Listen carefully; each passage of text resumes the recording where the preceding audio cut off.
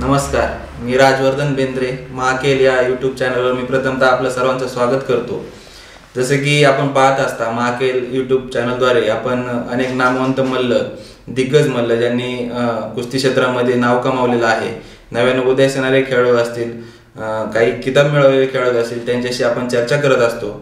अशीच चर्चा करण्यासाठी आज आपण आलेलो आहोत पै सुभाष बाबराव उमाप पंचायत समिती शिरूरचे सभापती आहेत ते. आज त्यांच्या निवासस्थानी आपण आलेलो आहोत. ओळख करून देतो पै अण्णांची. त्यांना आपण अण्णा असे म्हणत असू. अण्णा नमस्कार. नमस्कार.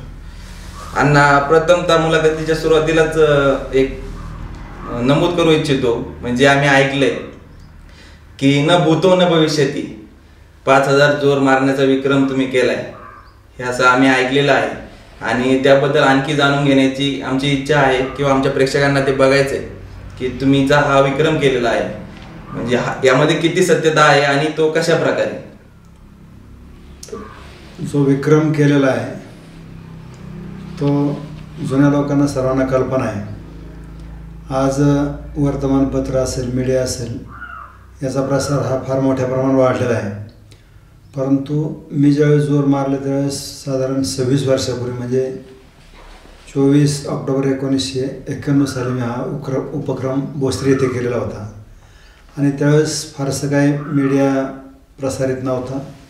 तरी पण त्या काळी माझी वर्तमानपत्रामध्ये एक मोठी बातमी आणि शरद भोसले नावाच्या एका व्यक्तीने जे क्रीडा संकलन करतात त्यांनी शिवाजीनगर येथे आकाशवाणी केंद्रावर माझी मुलाखत घेतलेली होती. साधारण ती आहे मुलाखत पंचवीस मिनिटांची होती. त्या दोन गोष्टी सोडल्या तर त्याचा फारसा असा बाकीच्या याच्यामध्ये मीडियामध्ये प्रसार झालेला नव्हता. परंतु जो जोर मारण्याचा कार्यक्रम झाला तो भोसरी येथील राष्ट्रप्रेम तरुण मंडळानं आयोजित केलेला होता. आणि शिवाजी चौक आहे जो भोसरीचा त्या चौकामध्ये उघड्या मैदानावर ते जोर मारले होते. त्यामुळे त्याच्यामध्ये असत्य असण्याचा विषयच नाही. आणि यासाठी तयारी कशी केली होती तुम्ही? हा जो विक्रम जोर मारण्याच्यासाठीची तयारी आहे. त्याच्यामध्ये आपण सुरुवातीला कुस्ती आणि व्यायाम असे दोन्ही सराव मी पुण्याच्या गोकुळ असताच तालमीत रस्तुमे हिंद पैलवान हरिश्चंद्र बेजादर यांच्याकडे करत होतो. परंतु दरम्यानच्या काळामध्ये पायाला थोडीशी दुखापत झाली. आणि तेव्हा कुस्तीचा सराव करायला गेला किंवा कुस्ती करायला गेलं तर पायी गुडघ्यात दुखायचा. त्याच्यातून आपला पाय बाद होण्यापेक्षा थोडासा आम्ही कुस्तीचा विषय थांबवला आणि काहीतरी करावं. त्या दरम्यान माझी सखाराम लक्ष्मण वासवंड की ज्यांनी एकोणीसशे छत्तीस साली जोर मारण्याचा एक मोठा विक्रम केलेला होता त्यांची ओळख झाली. त्यांच्याशी मी बातचीत केल्याच्यानंतर माझ्या डोक्यामध्ये जोर मारण्याचा विषय मी ठरवला. प्रेरणा मिळाली तुम्हाला. आणि जिद्द आणि त्या पद्धतीचा सराव मी अगदी टेक्निकल पद्धतीने केला. आणि एक वर्षाच्या फरकानंतर म्हणजे सुरुवातीला मी जातेगाव बुद्रुक येथे तीन हजार एक्कावन्न जोर मारलेले होते. आणि त्यानंतर वर्षभरानंतर पुन्हा पाच हजार जोर मारण्याचा विक्रम भोसरी या ठिकाणी मी केला होता. पाच हजार जो- जोर मारण्याची ही जी कल्पना आहे ही तुम्हाला कधी जाणवली? अशी मी मारू शकतो. तसं मी सुरुवातीपासूनच कुठली गोष्ट करायची म्हणलं तर माझ्याकडं जिद्द हा विषय होता. अगदी शेतात काम करायचं म्हणलं तरी कुठलंही काम ठरवलं तर मी ते पूर्ण केल्याशिवाय थांबत नव्हतो. आणि शरीर एष्टी मजबूत असल्यामुळं आपण एखादी गोष्ट जर ठरवली तर ती करू शकतो. पायाला दुखापत झाल्यामुळे कुस्तीत आपलं नाव मोठं होणार नाही हा अंदाज आल्याच्यानंतर. आणि जीवनामध्ये परत तर आपण तारुण्य संपल्याच्या नंतर मोठं नाव करू शकत नाही. हा एक दृष्टिकोन मी डोळ्यासमोर ठेवला. दरम्यानच्या काळात सखाराम लक्ष्मण वासवंड यांची भेट झाली. त्यांच्याशी मी चर्चा केली. त्यांनी कशा पद्धतीने जोर मारले त्यांनी कसा सराव केला काय काय खुराक घेतला त्याची मी माहिती जाणून घेतली. त्याच काळामध्ये सन एकोणीसशे एकोणनव्वदच्या दरम्यान सांगली येथील श्याम बाळासाहेब सोनवणे यांनी जोर मारण्याचा जागतिक विक्रम केलेला होता. मी सांगलीला जाऊन श्याम सोनवणे यांची भेट घेतली. त्यांनी कशा पद्धतीने सराव केला हे पाहिलं आणि तिथून पुढं मी किमान जागतिक विक्रम जरी करता आला नाही तरी जिल्ह्यात तालुक्यात मोठं नाव करायचं ह्या उद्देशानं शिरूर तालुक्यात राहत्या घरी हा सराव केला. सरावादरम्यान फारसा असा खुराक नव्हता परंतु फक्त जोर मारणे एवढाच व्यायाम मी दररोज करायचो. आणि त्याच्यामध्ये मी सुसूत्रता ठेवली होती. दररोज किती जोर वाढवायचे त्याचं एक वेळापत्रक तयार केलेलं होतं आणि तशा पद्धतीने मी तो सराव केला. म्हणजे दिवसेंदिवस तुम्ही तुमच्या स्वरात वाढ करत गेले. हा पहिल्या दिवशी जर आपण पंचवीस जोर मारले असतील तर दुसऱ्या दिवशी पन्नास जोर मारायचे. पंचवीसच्या फरकाने वाढीत वाढीत आम्ही साधारण एक हजारपर्यंत गेलो. नंतरच्या काळामध्ये पन्नासची वाढ केली. आणि पुढचे जे हजार आहेत ते वीसच दिवसामध्ये वाढवले. आणि शेवटच्या टप्प्यामध्ये तिसरा टप्पा आहे त्याच्यामध्ये मी शंभरने जोर वाढवले दररोज. आणि तीन हजारापर्यंत सराव नेला. आणि प्रत्यक्ष ज्या दिवशी जोर मारायचे त्याच्या अगोदर एक दिवस विश्रांती घेतली. आणि जोर मारण्याच्या दिवशी तीन हजार मारलेले सर्वातले जोर एकदम पाच हजारापर्यंत नेऊन त्या ठिकाणी मी विक्रम केला. जसं मॅरेथॉनमध्ये सराव करताना मुलं दहा किलोमीटरचा सराव असतील तरी पण ते वीस किलोमीटर पंचवीस किलोमीटर पळतात. तसं स्पर्धेमध्ये आपण जे उद्दिष्ट गाठणार त्यापेक्षा कमी जरी आपला सराव असला तरी स्पर्धेत किंवा संबंधित ठिकाणी आपल्याला तशा पद्धतीची शरीराला चालना मिळते. हा जो तुम्ही यांना विक्रम केलेला आहे ह्या विक्रमाचा प्लॅटफॉर्म कसा तयार झाला? त्याबद्दल काय सांगा त्याच्यामध्ये कुठलाही सराव करताना एखादा जर खेळाडू असेल आणि तो दररोज त्याच्या नियमाप्रमाणे खेळामध्ये जर सराव करत असेल तर तो सर्वश्रुत होण्याच्यासाठी त्याला कार्यक्रम घेण्याची आवश्यकता असते. आणि मग कार्यक्रम घ्यायचा म्हणून सुरुवातीला आम्ही जातेगाव बुद्रुक येथील मराठी शाळेमध्ये शिक्षकांना विनंती करून ग्रामस्थांना विनंती करून त्या ठिकाणी हँडविल छापून तीन हजार जोर मारण्याचा एकोणीसशे नव्वद साली मी एक विक्रम केला. आणि त्यानंतर मग माझा सराव थांबला. चंदननगर खराडी परिसरातील काही कार्यकर्ते भेटले. आणि त्यांनी सांगितलं की तुम्ही परत जोर मारा. आम्ही तुमचा कार्यक्रम आयोजित करू. कार्यक्रम आयोजित करू म्हटल्याच्या नंतर मग मी परत एकदा सराव करायला सुरुवात केली. परंतु प्रत्यक्ष सरावाची तयारी झाल्याच्यानंतर कार्यक्रम घ्यायला ती मंडळी तयार होईनात. कारण त्यांच्या पाठीमागं काही निवडणुका आणि त्या ठिकाणचं वातावरण मदतीचं न दिसल्यामुळं. आता आपण एवढा मोठा सराव केला आहे आणि जर आपण जाहीर जोर मारले नाही तर या सरावाचा उपयोग होणार नाही. मग मी दरम्यानच्या काळामध्ये पिंपरी चिंचवड या ठिकाणी नगरसेवक असलेले अमृत पराड यांची भेट घेतली. अमृत पराड हे आपल्याच भागातले केंदूरचे होते. त्यांची भेट घेतली आणि त्यांना मी माझा मनोदय बोलून दाखवला. त्यावेळेस त्यांनी तो कार्यक्रम घेण्याची तयारी दाखवली. आणि पिंपरी चिंचवड चे ते नगरसेवक असल्यामुळे. आणि त्या भागात त्यांना मोठ्या प्रमाणात कामगार बाकीचे पैलवान मंडळी हे कार्यक्रमाला येथील हा उद्देश डोळ्यासमोर ठेवून आम्ही सुट्टीचा दिवस गुरुवारचा असतो तो दिवस निवडला. आणि चोवीस ऑक्टोबर एकोणीसशे एक्क्याण्णव रोजी भोसरीच्या शिवाजी चौकामध्ये तो कार्यक्रम घेतला. आणि प्रत्यक्ष त्या ठिकाणी तीन तास सदतीस मिनिटामध्ये पाच हजार पाच जोर मारून मी तो कार्यक्रम पूर्ण केला. जसं की तुम्ही पाहताय जिद्द जर मनात असेल तर माणूस त्या दृष्टीने प्रयत्न करून ती गोष्ट अचीव सुद्धा करतो. आणि असंच अण्णांनी काही केलेलं आहे.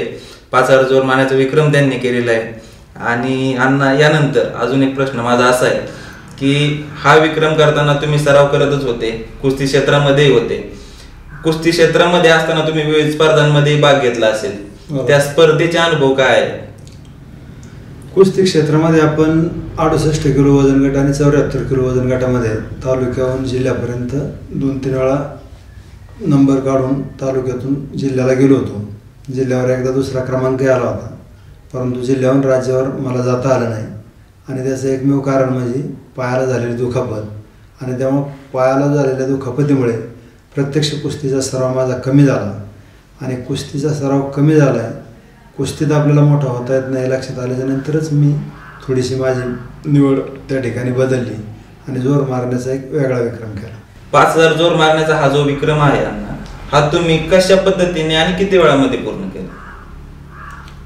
मी पाच हजार जोर मारण्याचा जो विक्रम करायचा होता त्याच्या सरावामध्येच माझं वेळापत्रक तयार केलेलं होतं. त्यामुळे एक मिनिटामध्ये आपण किती जोर मारू शकतो आणि एक तासात किती मारू शकतो आपण नंतरच्या काळात आपल्याला जर थोडासा थकवा आला तर आपले जोराचं प्रमाण किती कमी होईल हे सगळा अंदाज घेऊन मी साडेतीन तासात ते जोर मारण्याचं ठरवलं होतं. प्रत्यक्षात जोर मारण्याच्या दिवशी आम्ही त्या ठिकाणी जाहिरात फार मोठ्या प्रमाणात केली होती. त्यामुळे लोक भरपूर आली होती. प्रत्यक्ष सुरुवात आम्हाला तीन वाजता करायची होती. परंतु कार्यक्रम सुरू होता होता पावणे चार त्या ठिकाणी वाजले. पावणे चार वाजता जोर मारायला सुरुवात केली. पहिल्या दहा मिनटामध्ये मी दोनशे सत्याहत्तर जोर मारले होते. सव्वा तासामध्ये एक हजार आठशे चौऱ्याऐंशी जोर मारले.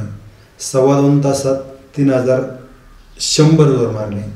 आणि तीन तास सदतीस मिनिटामध्ये पाच हजार पाच जोर पूर्ण करून जवळपास पाच ते सात हजार लोकांची त्या ठिकाणी मी वावा मिळवलेली होती.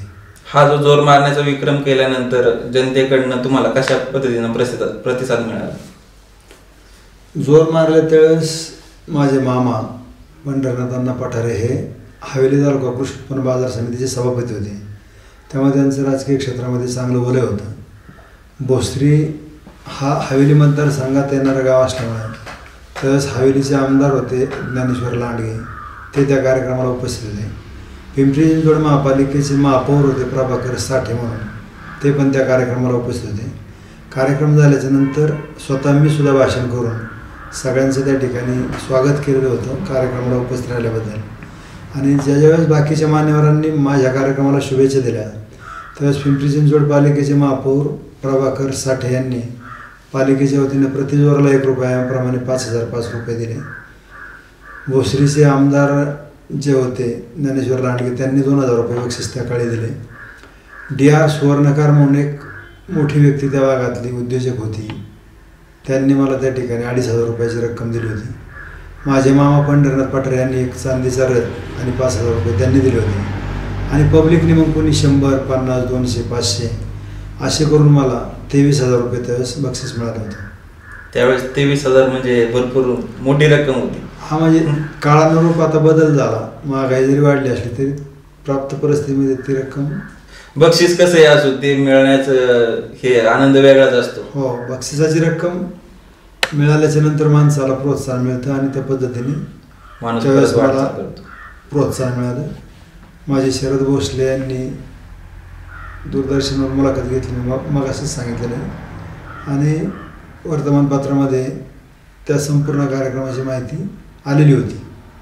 जसं की अण्णा तुम्ही आधीच्या आपल्या संवादामध्ये सांगितलेले की तुम्हाला इंजुरी झाल्यामुळे तुम्ही पुढे कुस्ती क्षेत्रामध्ये वाटचाल करू शकला नाही त्याच दृष्टिकोनातून तुम्ही येणारे जे नवीन खेळाडू आहेत किंवा जे सध्या प्रॅक्टिस करत आहेत त्यांना होणाऱ्या दुखापतीतनं जर त्यांनी कशी वाटचाल केली पाहिजे किंवा त्यातनं बाहेर कसे पडले पाहिजे त्याबद्दल तुम्ही काय सांगाल? खेळ हा कुठलाही असला की त्याच्यामध्ये दुखापत होण्याचा धोका असतो. कबड्डी असेल कुस्ती असेल. कुस्तीमध्ये अनेक पैलवानांना त्या ठिकाणी हाताला पायाला इजा झाल्यामुळे कुस्तीतून बाजूला जावं लागलेलं आहे कारण शेवटी शरीर किंवा आपलं जीव महत्त्वाचा असतो. परंतु जर काही काळ आपण तशा पद्धतीने विश्रांती घेतली तर तो जो दुखापत झालेला अवयव तो आपला भरून येऊ शकतो औषधोपचाराने आणि नंतर आपण त्याच्यामध्ये पदार्पण करू शकतो. पण बऱ्याच वेळेला ज्या ठिकाणी आपल्याला दुखापत झाली त्या ठिकाणी पुन्हा दुखापत होण्याचा धोका असतो. अलीकडच्या काळामध्ये पूर्वीचे जे पैलून होते ते पारंपरिक व्यायाम करायचे. त्याच्यामध्ये जोर असायचे बैठक असायच्या पोहणं धावणं असे व्यायाम असायचे. अलीकडच्या काळामध्ये थोडीशी व्यायामाला तरुण पिढीने गती दिलेली. व्यायामाचे प्रकार बदललेले आहेत. प्रकार बदलले तरी अडचण नाही परंतु काही पैलवान काही खेळाडू वेगवेगळ्या खेळातले काही खेळाडू त्या ठिकाणी वेगवेगळे द्रव्य घेत आहेत किंवा ज्याच्यातून माणसाला तातडीने शक्ती वाढेल किंवा द्रव्य घेऊन त्या ठिकाणी आपण चांगल्या पद्धतीने खेळ करू असा समज काही लोकांचा झालेला आहे. परंतु त्याच्यामधून तात्पुरती आपली शक्ती जरी वाढत असली तरी साईड इफेक्ट ज्याला आपण म्हणतो तो होण्याचा धोका आहे. त्याच्यातून काही लोकांच्या किडण्या खराब झालेल्या आहेत काही लोकांचे अवयव खराब झालेले आहेत. आणि जी झालेली दुखापत आहेत तीसुद्धा त्या ठिकाणी होण्याची ती कारणं असू शकतात. आणि म्हणून नव्या पिढीतल्या ज्या खेळाडूंनी शेवटी आपलं शरीर हे महत्त्वाचं आहे. कारण धनसंपत्तीपेक्षा शरीर संपत्ती श्रेष्ठ आहे. हे राजश्री शाहू महाराजांनी समाजाला त्या काळी सांगितलं. तर त्यांचा आदर्श डोळ्यासमोर ठेवून.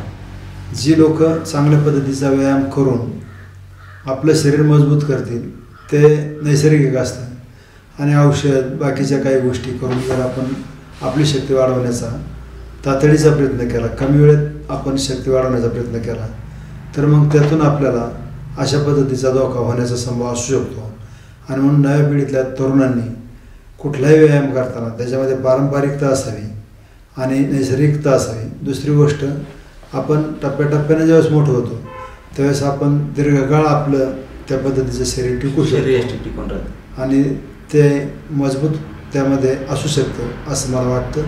आणि म्हणून कुठल्याही प्रकारची चुकीची औषधं किंवा चुकीच्या पद्धतीचा व्यायाम न करता चांगल्या पद्धतीचा व्यायाम जर केला तर ते नाव निश्चितच मोठं होणार आहे. यामध्ये शंका नाही. आज महाराष्ट्रामध्ये अन्न आपण पाहतो महाराष्ट्र केसरी सारख्या भव्य दिव्य स्पर्धा भरत असतात. तसेच सोळावी शिरूर मल्ल सम्राट स्पर्धाही आता सुरू होते या महिन्यामध्ये. त्या स्पर्धांबद्दल तुम्ही काय सांगाल? शिरूर केसरीची जी तालुक्यामध्ये स्पर्धा सुरू आहे त्याच्यामध्ये आमचेच मित्र आहेत रामभाऊ सासवडे यांनी ती स्पर्धा खरं तर सुरू केली. स्पर्धा सुरू केली त्यावेळेस त्यांचा हेतू हा होता की शिरूर तालुक्यामध्ये पहिलवानकीला चांगले दिवस आले पाहिजे. आणि त्यांनी शिरूर तालुका कुस्तीगीर संघाचं अध्यक्षपद घेतलं. आणि स्वतः पुढाकार घेऊन चांगल्या पद्धतीनं कुस्ती स्पर्धांचं आयोजन केलं. शिरूर केसरी स्पर्धा सुरू झाल्याच्या पुढं तालुक्यामध्ये पहिलवान निश्चित वाढले. परंतु शिरूर केसरी न होता पहिलवानांनी पुढं मग त्याच्यातून जिल्हा केसरी महाराष्ट्र केसरी या पदापर्यंत जाण्याच्यासाठी जी पुढची वाटचाल आहे ती त्यातून कमी होऊ देण्याचं कारण नाही. तर आपल्या या शिरूर केसरीच्या स्पर्धेतूनच सचिन एलभरसारखा एक चांगला कुस्तीगीर तयार झाला. पुढं त्यानं उप महाराष्ट्र केसरीपर्यंत नाव केलं. त्याचप्रमाणे गणेश काशीतसुद्धा त्याच्यातून पुढे गेला. पण शिरूर केसरी झालेले बाकीचे जे पाहिले नाही त्यांनी त्यानंतर कुस्ती करणं किंवा सराव करणं कमी केलं.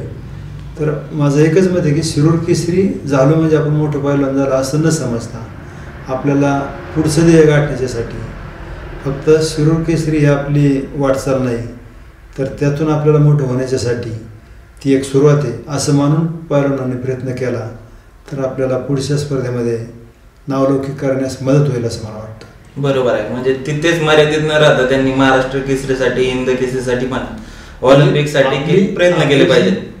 ध्येयवादी भूमिका आहे ती ज्यावेळेस आपण मोठी ठेवू आपल्याला जे कुठलीही वाटचाल करायची त्या काळ सगळं जर आपण पाहिलं तर तिथपर्यंत आपल्याला पोचता येतं आणि म्हणून महाराष्ट्र केसरीची जर आपल्याला आपण कुस्तीची स्पर्धा पाहिली तर त्याच्यामध्ये जिल्ह्यातल्या अनेक ठिकाणच्या महापालिकेच्या टीमा येतात.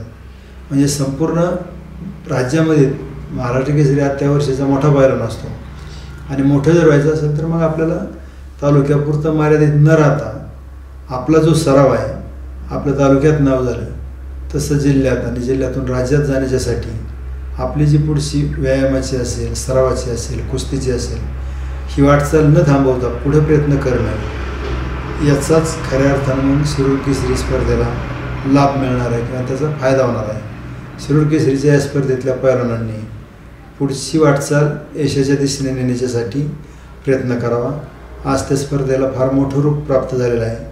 बक्षिसाची रक्कम वाढलेली आहे. आज बुलेटसारख्या गाड्या त्या ठिकाणी विजेत्याला दिल्या जात आहेत. अशा पद्धतीने जर आपल्याला नावलौकिक झाला तर तो पहिलवान तिथंच न थांबता पुढं जाणं हे शिरूर केसरीचं महत्त्व राहील. संबंधित पैलवानांना मी एक विनंती करणार या निमित्ताने की आपण शिरूर केसरीच्या नंतर आपण जो व्यायाम खंडित करणार आहे किंवा सराव खंडित करणार आहे तो न करता त्याचा उपयोग आपण पुढच्या स्पर्धेसाठी त्या अनुभवाचा घ्यावा. आणि आपलं शिरूरचं नाव. जसं महाराष्ट्र केसरी रघुनाथ पवार असतील उपमहाराष्ट्र केसरी दिलीप पवार असतील मंगलदास बांदल सारखे पैलवान या तालुक्यामध्ये चांगले झाले. अतुल धुमाळ आमचा मित्र एक चांगला कुस्तीगीर होऊन गेला. तर त्या पद्धतीने प्रत्येकालाच महाराष्ट्र केसरी होता येईल असं नाही परंतु त्या स्पर्धेमध्ये आपलं नाव चमकवण्याच्यासाठी प्रयत्न करायला ही स्पर्धा निश्चितच फायदेशीर ठरणार आहे. अण्णा आम्ही जो हा महाकेल युट्यूब चॅनल जो चालू केलेला आहे आणि याद्वारे जो आम्ही उपक्रम राबवत आहोत याबद्दल तुम्हाला काय वाटतं आणि तुम्ही काय सांगाल प्रेक्षकांना? मला काल पवन बेंद्रे यांचा फोन आला. आणि त्यांनी त्यांचं जे उद्दिष्ट आहे ते मला बोलून दाखवलं. जवळपास पंचवीस वर्षानंतर आपण जोर मारल्यानंतर कोणतरी माणूस आपली दखल घेतोय. आपल्या त्या कार्याला प्रसिद्धी देतोय. तसं शिरूर तालुका हा एकेकाळी अत्यंत कुस्तीच्या क्षेत्रामध्ये नावाजलेला तालुका. या तालुक्यामध्ये अनेक मल्ल होऊन गेले. त्याच्यामध्ये मला उल्लेख करावा लागेल की चांगदेव हरगुंडे उरळगावचे पैलवान की ज्यांना आम्ही स्वतः पाहिलेले आहे. शिक्रापूरला बबनांना सासवडे यांनी त्या क्षेत्रामध्ये चांगलं काम केलं. आहे तुमच्याच आंबळ्याचे गायकवाड मास्तर असतील दत्तोबा बेंद्रे असतील पंढरीनाथ बेंद्रे असतील हे बैलन तालुक्यामध्ये मोठे पैलवान होऊन गेले. इकडं मुखैचे आमचे वस्ताज म्हणून ज्यांनी आम्हाला मार्गदर्शन केलं ते काकासाहेब धुमाळा. सणसवाडीला एक आमचा मित्र देवराम दरेकर. पलीकडं कोरेगाव भीमाला गणेश काशेचे वडील माऊली काशे. ही अशी अनेक मंडळी धुमाळ बिंब्याला चांगदेव धुमाळ असतील सोपान मास्तर असतील. हे या कुस्तीच्या क्षेत्रामध्ये नावाजलेले मल्ल. महाराष्ट्र केसरीपर्यंत गेलेले आपले रघुनाथ पवार असतील. किंवा मांडवगण भागामध्ये काही पैलवान झाले इनामगाव भागामध्ये काही पैलवान झाले. तर ही जी पैलवान मंडळी त्या त्या काळामध्ये त्यांचं नाव झालं. परंतु नंतर त्यांचं नाव हे काळाच्या ओघात कमी होत गेलं. परंतु अशा जुन्या मल्लांना कुठल्या तरी स्पर्धेच्या रूपानं त्यांच्या कार्याचा आलेख जनतेसमोर मांडणं किंवा त्यांना प्रसिद्धी देणं शेवटी कुठलाही माणूस हा स्तुतिप्रिय असतो. केलेली स्तुती त्याला आवडत असते. आणि तुम्ही जे या लोकांनी त्यांच्या क्षेत्रामध्ये केलेलं योगदान आहे त्याला पुन्हा एकदा समाजासमोर जनतेसमोर त्यांच्या कार्याची पोच तुम्ही तुमच्या या उपक्रमाच्याद्वारे देतात हे निश्चितच स्तुत्य असा उपक्रम आहे. त्यातून नव्या पिढीतल्या तरुणांना तर प्रेरणा मिळणारच आहे परंतु जे जुने मूल्य होऊन गेलेले आहेत त्यांनासुद्धा त्यांच्या कारकिर्दीचा आलेख काही वर्षानंतर पुन्हा जनतेने आपल्या रूपाने पाहायला मिळालेला आहे. तो निश्चितच कौतुकास्पद उपक्रम आहे. मी तुम्हाला या निमित्तानं मनापासून धन्यवाद देतो. तुमच्या या उपक्रमामुळे नव्या पिढीतले काही पैलवान जसे तयार होतील. तसे जे जुने पैलवान आहेत त्यांनासुद्धा आदर्श जीवन जगण्याची उर्मी मिळेल असं मला वाटतं. जसं की आपण पाहताय पिळदार शरीरयष्टी आणि दिलदार व्यक्तिमत्व. आपल्या शिरूर पंचायत समितीचे सभापती माननीय सुभाष अण्णा उमाप यांनी त्यांच्या मुलाखतीमध्ये सांगितलेलंच आहे की कशा पद्धतीने त्यांनी पाच हजार जोर हा विक्रम तीन तास आणि सदतीस मिनिटांमध्ये पूर्ण केला त्यासाठी त्यांनी कशा पद्धतीने तयारी केली त्यांना प्रेरणा कुठून मिळाली आणि त्यांचे दुखापतीचे अनुभव असतील किंवा नवीन खेळाडूंना मार्गदर्शन असेल योग्य पद्धतीने अण्णांना आपल्या आप- अण्णांनी आपल्याला मार्गदर्शन केलेलं आहे महाकेल युट्यूब चॅनलच्या वतीनं मी अण्णांचे आभार व्यक्त करतो आणि आपल्या नवीन खेळाडूंना चालना देण्यासाठी त्यांना प्रदर्शित करण्यासाठी त्यांच्याबद्दल जाणून घेण्यासाठी लाईक करा सबस्क्राईब करा आणि शेअर करा महाकेल यूट्यूब चॅनल धन्यवाद. नमस्कार.